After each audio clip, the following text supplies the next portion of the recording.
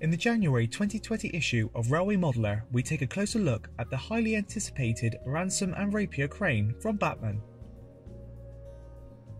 This landmark model aims to capture the character of the prototype in miniature with a whole host of operational features, including extendable outriggers, posable chimney,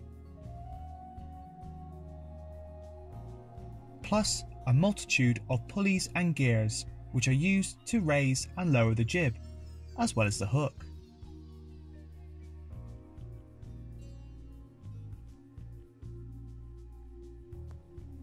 Both features are operated by a handy magnetic tool via two hidden inserts in the back of the cab.